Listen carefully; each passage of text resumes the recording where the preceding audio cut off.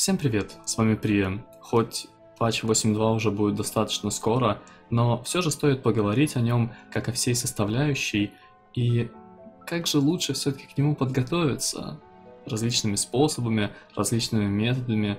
Есть даже пару личных советов от меня, от человека, который уже наиграл в эту игру около 10 лет, можно сказать, почти ежедневного какого-либо фарма, ежедневного какого воздействия на эту игру сделавшего. В общем, суть проста, на самом деле. А что нам нужно знать изначально? Изначально при выходе какого-либо патча нам нужно знать дату его выхода, обновления, да, окей, в текущем случае. А мы прекрасно знаем, что это 26 число, это уже завтра будет. И значит, что нам нужно подготовить? Нам нужно подготовить наш максимальный neck. Те, кто активно играл, конечно же, 50 level залутал давно. Ну, я как человек, любящий э, поделать какие-то social вещи в последнее время, остановился на каком-то там 45-м, 46-м, 47-м на воине своем. Ну и, собственно, что-то прокачал, что-то сделал. Ну, в общем, как-то что-то восполнил. Я думаю, первые квесты, которые будут на Мехагоне по стартовой цепочке, которая откроется завтра после техобслуживания. Кстати, насчет него. Я уверен, что оно будет не до 12 по Москве. То есть в 10, в 9 утра по московскому времени уже стопроцентно сервера включатся. И даже не удивляйтесь тому, что люди будут в вашем Battle.net списке друзей уже в игре. Так как абсолютно все обновления, которые выходят, ну, они постоянно ошибочны в плане того, что закрытие серверов ставят обычно на такое временное количество, чтобы если вдруг что-то пойдет не так, люди не прикапывались к этому, поэтому ставят до 12. На деле все будет намного раньше, и недельное вскрытие сундуков будет вовремя, и все будет хорошо. Делаем максимально все, что можем. Делаем максимально э, все, что можем, э, как лично, так и в какой-либо группе, рейде, там, ради шмота и всего такого прочего, хотя я думаю, вы это сами прекрасно знаете, все зависит от ваших целей в игре. А, квесты, я уверен, на Мехагоне будут интересные, будут классные, силы артефакта мы получим до кучи, там знание артефакта подрубят с какой-то недели, это 100%, прокачивать нек будет еще легче.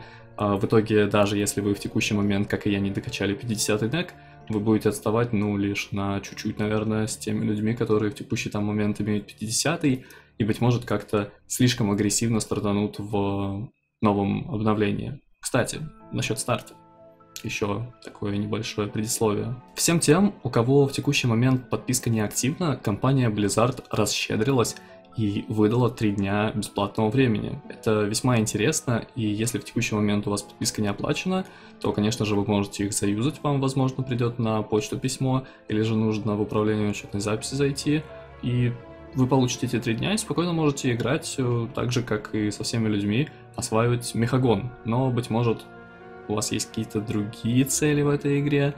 Контента будет очень много, поговорим о нем.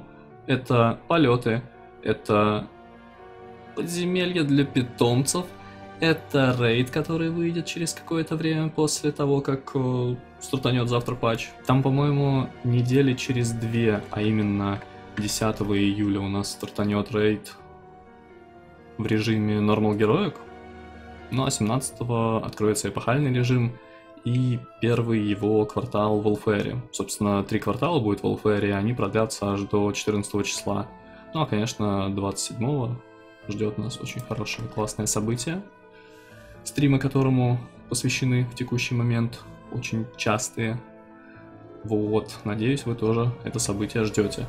А, что еще можно сказать? Контента много, контента действительно до кучи, можно делать хоть что, в текущий момент игра развивается, и это радует. Если поговорить еще о каких-либо новинках, ну, не знаю даже. Плейлист, собственно, сделан по 8.2, и если у вас есть желание, то можете абсолютно полностью его чекнуть.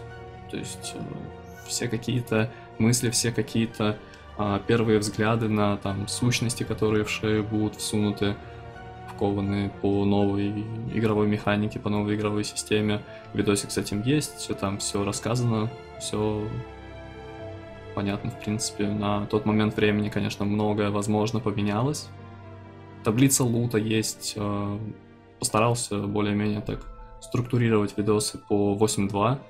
даже в те моменты, когда никаких либо официальных анонсов не было, в принципе, насчет того, что там анонсирована сущность, анонсированы полеты. То есть зашел на ПТР, увидел ачив, сделал ролик по полетам. Там требования очень простые, кстати, и хоть кто стопроцентно сделает их рано или поздно. Ну, в среднем там это займет 3-4 недели. В принципе, срок хороший. То есть все полеты так делались, насколько я правильно помню. Там плюс-минус неделя. У хуманов это, конечно, дело будет быстрее за счет э, их пассивочки на 10% усиленного получения очков репутации. А где она?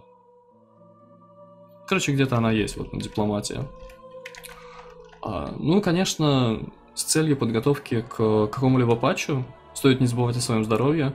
А, желательно подойти полностью выспавшимся к выходу чего-то нового, полностью отдохнувшим и полностью залеченным. Это говорю я. Всех вам благ, счастья, здоровья, берегите ноги, занимайтесь хорошими делами и получайте полеты. Также не забывайте про локалки. Шею нужно будет качать вновь. Но те, кто долго не играл, при заходе в игру получат 35 уровень шеи. Это неплохо. До скорого.